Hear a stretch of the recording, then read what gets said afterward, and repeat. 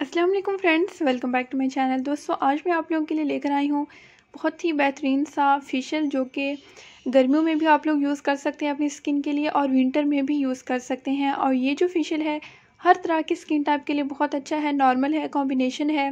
या फिर oily skin है ड्राई स्किन है और इसके अलावा ये जो फेशियल है, बिल्कुल नेचुरल चीज़ों से हमने इसको बनाना है। और सारा क्लीनजर स्क्रब मास्क हर चीज़ एक ही पेस्ट में तैयार हो जाएगा और इस पेस्ट को सिर्फ़ आपने अपने पूरे फेस के ऊपर अप्लाई करना है और आप देखेंगे कि आपको इंशाल्लाह काफ़ी इससे अच्छे रिज़ल्ट मिलेंगे।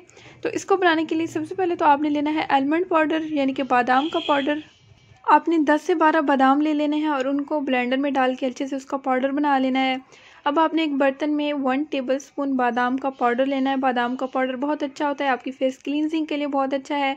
आपके चेहरे पर से जो धब्बे होते हैं उनको ख़त्म करने के लिए बहुत अच्छा होता है। इसके अलावा सेकंड इंग्रेडिएंट आपने इसमें यूज़ करना है ड्राई मिल्क यानी कि दूध का पाउडर आपको इसमें चाहिए और ये भी आपने लेना है वन टीस्पून।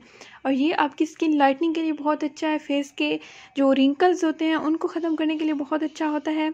और इसके साथ साथ आपको जो थर्ड चीज़ चाहिए, इसमें थर्ड इंग्रेडिएंट हमारा है, वो है दलिया।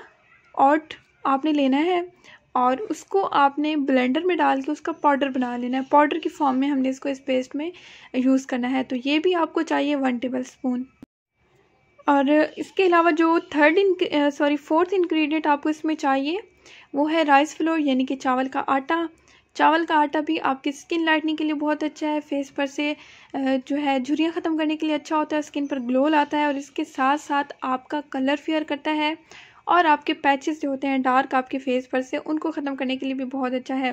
तो सारे पाउडर आपने वन वन टीस्पून लेने हैं और उसके बाद आपका, आपने पेस्ट बनाने के लिए इन सब का आपको चाहिए कच्चा दूध। आपने इसमें कच्चा दूध यूज़ करना है। अगर आपके पास कच्चा दूध नहीं है बॉयल किया हुआ है तो फिर आप वो भी यूज़ कर सकते हैं। लेकिन जो आपने पहली प्रेफरेंस देनी है, वो कच्चे दूध को देनी है। और इन सबको अब आपने अच्छे से मिक्स कर लेना है। दूध के साथ मिक्स करने के बाद आपके पास एक बिल्कुल स्मूथ सा पेस्ट रेडी हो जाएगा।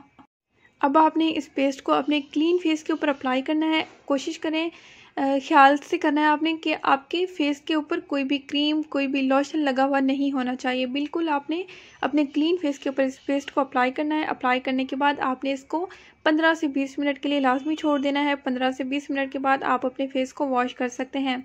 हफ़्ते में दो दफ़ा इसको यूज़ करें। आप देखेंगे कि आपकी को किसी और फेशियल की भी ज़रूरत नहीं पड़ेगी और आपकी स्किन काफ़ी ग्लो करेगी और बिल्कुल नेचुरल करेगी और इससे का कोई भी किसी स्किन टाइप के लिए कोई साइड इफ़ेक्ट नहीं है। तो आप इसको घर में ज़रूर ट्राई कीजिएगा। और अगर आप अपने फेस पर से धब्बे ख़त्म करना चाहते हैं तो उनके लिए भी ये मास्क, ये पेस्ट बहुत अच्छा है। उम्मीद करती हूँ दोस्तों, आपको ये वीडियो बहुत अच्छी लगी होगी। अगर अच्छी लगी हो तो इसको लाइक और शेयर ज़रूर कीजिएगा। अल्लाह हाफिज़.